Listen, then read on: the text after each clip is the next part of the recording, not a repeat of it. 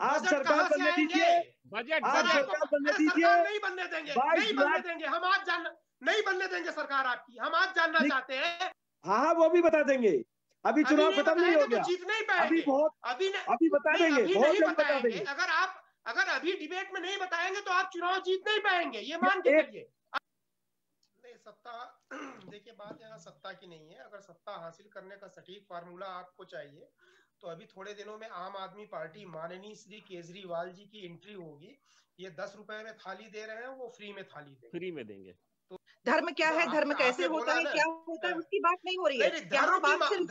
धर्म की उपस्थिति की मैं बात कर रहा हूँ। अखिलेश जी मैं आपसे सिर्फ़ ये कह रही हूँ कि धर्म धारण करना मैं किस धर्म से बिलोंग करती हूँ? मेरा धार्मिक संस्कार क्या है? मैं व्यक्तिगत जीवन पे क्या करती हूँ? ये मेरा व्यक्तिगत मसला होना चाहिए। जब सार्वजनिक रूप में हम हो तो हर व्यक्ति तो भारतीय सड़क होना नमाज़ क्यों चाहिए। पढ़ी जाती है? सार्वजनिक रूप से नमाज़ क्यों पढ़ी जाती है? उस भी बोल दीजिए ये सब बातें मत लाइए। ये धर्म के नाम पे देश को बांटना हो जब पर्सनल मुद्दा है तो सड़क पे नमाज़ क्यों पढ़ी जाती है? आप नौकरी दीजिए। नहीं नहीं सामाजिक नहीं रूप से देखिए नमाज़ क्यों पढ़ी जाती है? तो मैं नौकरी की बात करूँगा। है? नौकरी कौन रहा बात है? बांट कौन कर रहा है? मैंने कुछ उदाहरण दिए हैं। अब नौकरी पे बात करना है तो नौकरी पे आ जाइए। हाँ नौकरी की बात करूँगा मैं। बांटने वाले हैं। सवाल। अब पूछिए ना सवाल। आप कह रहे हैं ना कि नौकरी तो नौकरी के नाम पर हाँ, तो तो पूछ रहा हूँ मैं आपसे कि आखिरकार ये बांटने की सियासत जो कर रहे हैं तो वो नौकरी पर हाँ। ध्यान क्यों नहीं केंद्रित कर रहे?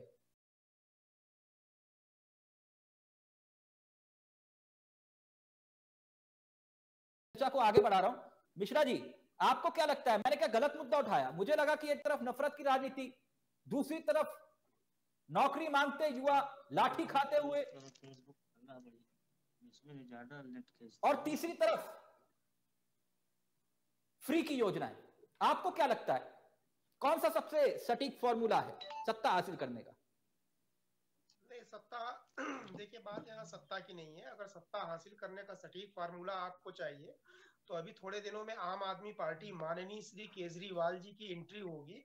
ये दस रुपए में थाली दे रहे हैं वो फ्री में थाली देंगे। फ्री में देंगे।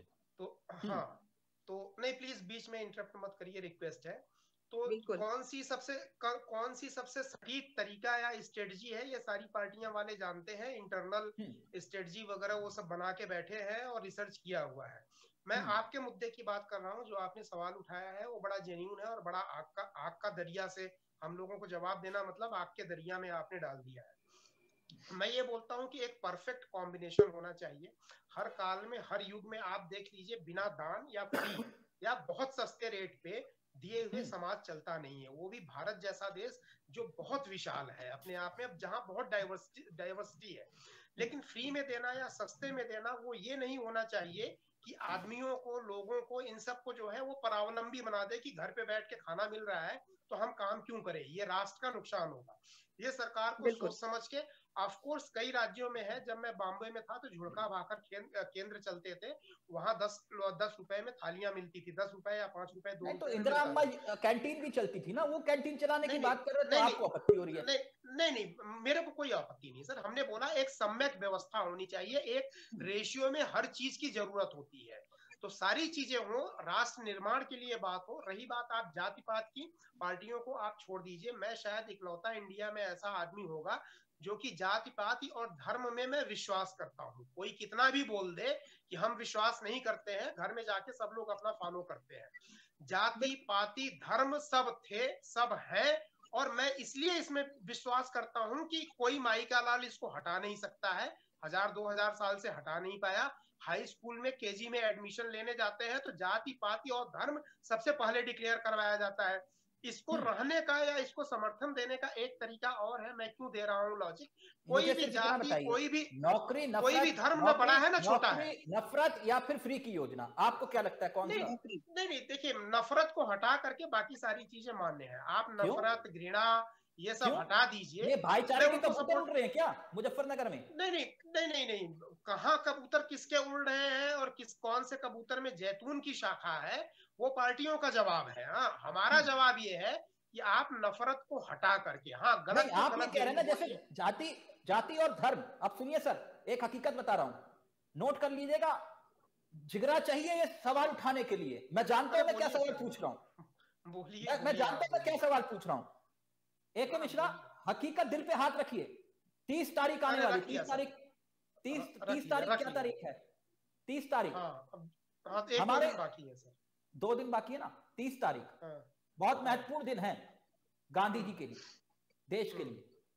हम्म। और इसी दिन देखना ये गोट से जिंदाबाद के नारे लगाने वाले दिखेंगे। देखिए दो चीज़ें हैं। इसी दिन दिखाई देंगे। और फिर मुझे सताना कि नफरत की राजनीति नहीं हो रही। मैं बता रहा हूँ। मैं, मैं जानता हूँ मैं क्या सवाल पूछ रहा हूँ लेकिन मैं ये जानता हूँ। कि तीस तारीख को वोट से अमर रहे ट्रेंड करेगा। देख ले लिख लीजिएगा। हम हम आपको फिर से युवाओं को नौकरी चाहिए या फिर नफरत की राजनीति? इनको धकेल रहा है इसमें आप सुन लीजिए सर आप अगर समाज में है तो समाज के किसी भी अच्छी बुरी चीज़ को आप अलग नहीं सक, कर सकते। आपने आदेश दिया है आप देख रहे होंगे दिल पे हाथ रख के बोल रहा हूँ। आप ही की डिबेट में या किसी और डिबेट में बोर्ड बोर्ड से जिंदाबाद मुर्दाबाद का मैंने जवाब दिया था मैं शॉर्ट में फिर से रिपीट कर देता हूँ। हमारे यहाँ की जो संस्कृति है सनातन संस्कृति राम ने भी बोला रावण की मृत्यु के बाद या जब भीष्म पितामह सर सैया पे थे मृत्यु के बाद हर आत्मा पवित्र हो जाती है क्योंकि वो परमात्मा में लीन हो जाती है। उसके बहुत मैं गुण दोष सारी चीज़ें खत्म हो जाते हैं। मृत्यु के बाद यहाँ पे कभी किसी की बुराई नहीं की जाती है। मैं समझ गया। बाकी समझ। राजनीतिक मुद्दा किसी को बनाना है ट्रेंड नहीं, नहीं, करना है करवाना है। एक तरफ़ नफरत की राजनीति का एजेंडा आप तय कर रहे हैं और दूसरी तरफ़ आप नहीं हैं कि नौकरी नहीं मैंने कोई मैं मैं मैंने कोई एजेंडा तय नहीं किया ना। ओके, मैंने बोला है। आपने सुनिए चावला जी सुन लीजिए आप आपने एक सवाल। पूछा है नहीं नहीं नहीं जीत- के लिए- जीत- कि लिए सबसे सटीक तरीका कौन सा है। वो पार्टियाँ बता रही है। आप लिख लिए ना। एक मिश्रा जी लिख तो लीजिए। हमने कहाँ तीस मना किया? ज़िक्र कर रहा हूँ? जिस राजनीति को आप नफरत की राजनीति बोल रहे हैं पॉलिटिकल पार्टियों के लिए हो सकता है, है सकता है पॉलिटिकल पार्टियों के लिए वो जीत का सबसे बड़ा एजेंडा हो। से अमर रहे ये सब टाइप करते हुए दिखाई देंगे आपको। इनको अरे आप एक- या फिर या फिर देखिए जिसको थाली जिसको नफर जिसको जो जीत का फंडा नज़र में आ रहा है वो अपने फंडे अपना रहा है। ओके उसके लिए तिलक चावला और ए के मिश्रा जिम्मेदार नहीं है। ओके। डॉक्टर सुधा मिश्रा जवाब दीजिए फिर उसके बाद अनंत अमित आपके पास आ जी। जी बिल्कुल तिलक जी अ, बात मुद्दों की अगर की जाए धर्म हमारा व्यक्तिगत मसला हो सकता है राष्ट्रीय मुद्दा नहीं हो सकता है लेकिन राष्ट्रीय मुद्दा बना के उसको बाकी चीज़ों को पीछे ढकेल देना आपको सबसे बड़ा करूँगा नहीं बिल्कुल नहीं। धर्म धर्म मेरा का अपना सबसे बड़ा राजनीतिक मुद्दा है। नहीं जी नहीं धर्म धर्म देश जो एक धर्म पे है देश। अगर हम मैं ग्लोबली देखा जाए तो बावन देश एक धर्म के बेस पे बने हैं। नहीं बने? देखिए वो धार्मिक मैं धार्मिक हम धार्मिक हाँ। बातों में विश्लेषण नहीं कर रहे हैं। धर्म क्या तो है धर्म कैसे होता है क्या होता है हाँ। उसकी बात नहीं हो रही है। धर्म की है उपस्थिति की मैं बात कर रहा हूँ। अखिलेश जी मैं आपसे सिर्फ़ ये कह रही हूँ कि धर्म धारण करना मैं किस धर्म से बिलोंग करती हूँ? मेरा धार्मिक संस्कार क्या है? मैं व्यक्तिगत जीवन पे क्या करती हूँ? ये मेरा व्यक्तिगत मसला होना चाहिए। जब सार्वजनिक रूप में हम हो तो हर व्यक्ति तो भारतीय सड़क पे होना नमाज़ क्यों चाहिए पढ़ी जाती है? सार्वजनिक रूप से नमाज़ क्यों पढ़ी जाती है? उस भी बोल दीजिए। ये सब बातें मत लाइए। ये धर्म के नाम पे देश को बांटना हो जब पर्सनल मुद्दा है तो सड़क पे नमाज़ क्यों पढ़ी जाती है? आप नौकरी दीजिए। नहीं सामाजिक रूप से नमाज़ क्यों पढ़ी जाती है? सुधा जी ये फिर आप आप सुधा पूजा करिए आप- सार्वजनिक रूप से। कौन मना कर रहा है आपको? आप पूजा तो भी करिए आप। भी आपसे पूछेंगे। हम आपका देखिए भी पूछेंगे ना सामाजिक समारोह क्यों होते हैं? नमाज़ पढ़ना है पढ़ने दीजिए जिसको पूजा करना है पूजा करिए। क्या आपको कोई रोकने आता है? ये हमारी स्वतंत्रता होनी चाहिए। पूजा करने का। लेकिन जहाँ पे नहीं, हैं। है। अयोध्या में पूजा करने के लिए गोलियाँ चल रही आज हैं। का मुद्दा धर्म अयोध्या में पूजा करने के लिए गोलियाँ चल रही हैं। कई लोग मारे गए। मुद्दा सिर्फ़ और सिर्फ़ रोज़गार का होना चाहिए। आज की युवा मिनट। 65 परसेंट जनसंख्या रोज़गार चाहती है। अन्न चाहिए पेट में में ट्वीट भी दिखाऊँगा। एक ट्वीट भी दिखाऊँगा पेट में अन्न होगा तभी राजनीति मुझे एक बात होगी। अन्न दीजिए उनको रोज़गार दीजिए। लेकिन हमने 22 लाख नौकरियों की भी बात की है दी कितनी थी? हमने 22 2012 लाख से नौकरियाँ 17 में देने का भी वादा किया है। और हमने ये भी कहा है फिर उसके बाद हमारे आपके पास आ रहा हूँ। राष्ट्रीय अध्यक्ष जी ने ये भी कहा है कि दसवीं और बारहवां पास कर लीजिए और रेस लगा दीजिए तो भर्ती हो जाओगे। ये भी क्या कहा है। आपको कैंटीन खोलने साहब। की ज़रूरत क्यों पड़ रही है? नहीं नहीं सुनिए। एक चौधरी साहब जी बाईस लाख नौकरियाँ बहुत अच्छी चीज़ है। मैं आपसे सवाल पूछता हूँ अपने माननीय जी, जी पूछिएगा। पूछे पूछे पूछे नौकरी ऑन एन एवरेज अगर एक लाख रुपए तनख्वाह दी जाए तो साल भर में यूपी गवर्नमेंट का क्या बजट होगा? मुझे बताइए जरा।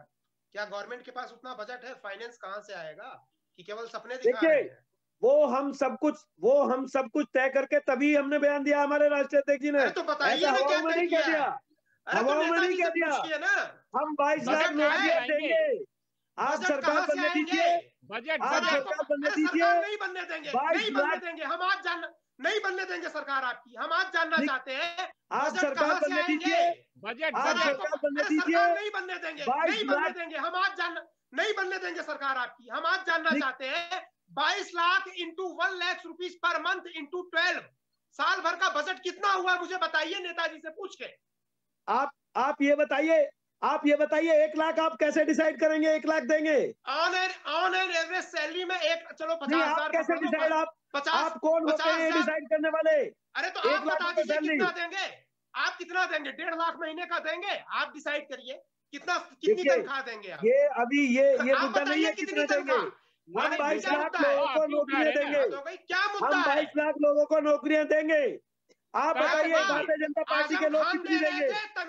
इनसे पूछिए। को आज़म खान की तरह जूता साफ़ करवाने की नौकरी देंगे। कोई कैलकुलेशन है नहीं फाइनेंशियल आप कुछ बता नहीं पा रहे हैं। आप बड़े वरिष्ठ हैं आप ये व्यक्तिगत मत जाइए। आप व्यक्तिगत नाम लेके मत जाइए आज़म खान ने बोला था ये आप व्यक्तिगत मत जाइए। अगर मैं मैं मिश्रा जी नाम गिराने पर लग गया पूरी पूरी कैलकुलेशन पूरी फाइनेंशियल कैलकुलेशन बताइए। शाम हो जाएगी गिनाते गिनाते आप व्यक्तिगत मत जाइए। कितनी रहेगी साल भर का बजट क्या होगा? व्यक्तिगत हाँ, बता देंगे। क्या वो बजट है? अभी समय पड़ा है। अभी समय है। बता देंगे। चुनाव सर पे है सर। हाँ हाँ वो भी बता देंगे। अभी चुनाव खत्म नहीं हो तो गया। जीत नहीं पाएँगे अभी बहुत अभी अभी बता देंगे। बहुत बता देंगे। अगर आप अगर अभी डिबेट में नहीं बताएँगे तो आप चुनाव जीत नहीं पाएँगे। ये मान के चलिए। हाँ वो भी बता देंगे। अभी चुनाव खत्म नहीं हो तो गया। जीत नहीं पाएँगे। अभी बहुत अभी अभी बता देंगे बहुत बता देंगे। अगर आप अगर अभी डिबेट में नहीं बताएँगे तो आप चुनाव जीत नहीं पाएँगे। ये मान के चलिए। अभी डिबेट में बताइए। कैलकुलेटर अच्छा, उठा लीजिए। कैलकुलेटर उठा लीजिए। अगर सरकार आप बनने तो दीजिए। हम नौकरियाँ देंगे। हम किसानों की हम किसानों की तरक्की का मार्ग तैयार करेंगे। हवा हवाई एक मिनट प्लीज़ संजीव चौधरी हवा हवाई नहीं है। एक के मिश्रा हवा हवाई नहीं है। अच्छा, हमने पहले भी काम किया है। पाँच आइडिया पाँच आइडिया बताइए किसानों के लिए क्या करेंगे तरक्की में? जरा किसानों के लिए खाद बीज किसानों की जो महँगाई तो इन्होंने इतनी कर दिया खाद खाद नहीं अच्छा, खरीद तो पा रहा किसान हम वो सस्ती करेंगे। हाँ, हम किसानों का जो गन्ने का मूल्य है वो पंद्रह दिन के अंदर पंद्रह दिन के अंदर परसेंट खाएँगे कितने परसेंट आप सस्ती करेंगे? खाद जरा बताइए। प्लीज़ एके मिश्रा प्लीज़ कुछ पता नहीं। कोई कैलकुलेशन नहीं। रूस से बोल दिया। अरे अपने मन में लेके बैठे रहिए। कुछ बता नहीं रहे प्लीज़ अरे सर आप जनता पार्टी के प्रवक्ता मत बनिए मिश्रा जी। अब मैं किसी का प्रवक्ता नहीं आप हमेशा प्रवक्ता बनते हैं। आप भारतीय जनता पार्टी के प्रवक्ता बनते हैं। प्रवक्ता के तौर पर बैठिए। लिखवाइए। आप लिखवाइए प्रवक्ता। भारतीय जनता पार्टी का प्रवक्ता लिखवाइए। आप एक डेफिनेशन बता नहीं पा रहे हो आप प्रवक्ता अच्छा लिखवाइए अपने आगे। और फिर बात कीजिए हमसे। हमसे बात कीजिए फिर। हम आपका जवाब देंगे। अच्छा, हम आपका जवाब देंगे चौधरी दस वाला देंगे। एवरेज दिन में दो बार खाएगा। तो मिश्रा जी। मिश्रा जी प्लीज़ मैं माफ़ी चाहूँगा। संजीव चौधरी आप जानते हैं मैं ऐसे डिबेट नहीं करता। Please please please Sanjeev Chaudhary please Mishra ji पर कोई व्यक्तिगत टिप्पणी नहीं। कई बार लिखा हुआ आता मैं नहीं पढ़ता कि ए के मिश्रा बीजेपी के प्रवक्ता है। नहीं पढ़ता मैं उनके सामने ऐसा नहीं बोलता हूँ। आप प्लीज़ ऐसा मत बोलिए प्लीज़ बेवजह इस तरह से आप आपसे। तिलक जी आपके पूछ लिया अखिलेश मिश्रा जी लेते कि नहीं लेते? धार्मिक सर्किट का मामला आपसे निवेदन है। उद्योग का मामला हो। हमने जब मुझे एंकर महोदय परमिशन देंगे तब मैं बोलूँगा। नहीं हमें भी अच्छा लगेगा हमें टोक रहे तो इन्हें भी टोक रहे अरे आपको अच्छा लगे या बुरा लगे हम उसके लिए ठेकेदार थोड़ी हैं। आप हारो जी तो हमें क्या करना है? नहीं इनको क्यों नहीं टोक रहे हो आप? आप नहीं। सर हम इसलिए नहीं टोक रहे क्योंकि क्योंकि एंकर ने अभी हमें परमिशन नहीं दी है। मेरी बारी और जब हम बोल रहे थे जब परमिशन दी हुई थी। बीच में आप टपक पड़े थे। आप अपना पहले फ्रेम में आप टपक पड़े थे। आप आप पिक्चर से बाहर हो जाएँगे तो फिर उसके बारे में आप सीधे याक्षर की बदनाम मेरे राम को आप कैसे बदनाम कर सकते हो? और आपके राम को मैं कैसे बदनाम कर सकती हूँ?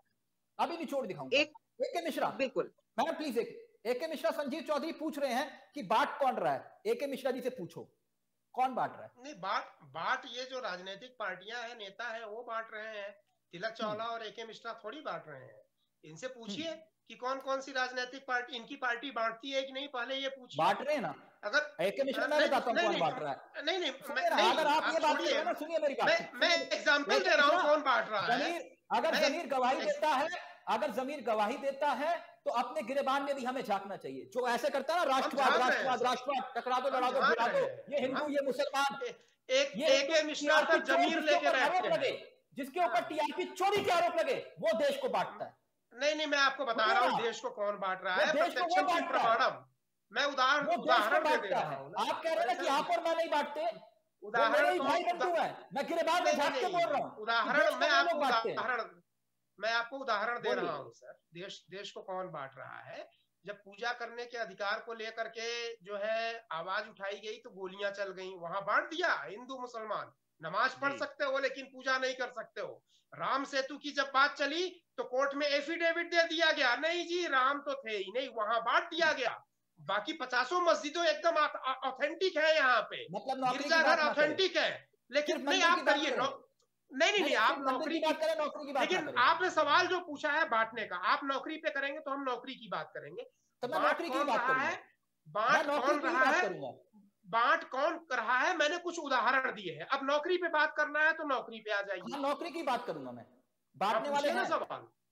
अब पूछिए ना सवाल। वही आप कह रहे हैं ना कि नौकरी तो नौकरी के नाम पर हाँ, तो तो पूछ रहा हूँ मैं आपसे कि आखिरकार ये बांटने की सियासत जो कर रहे हैं तो वो नौकरी पर हाँ। ध्यान क्यों नहीं केंद्रित कर रहे?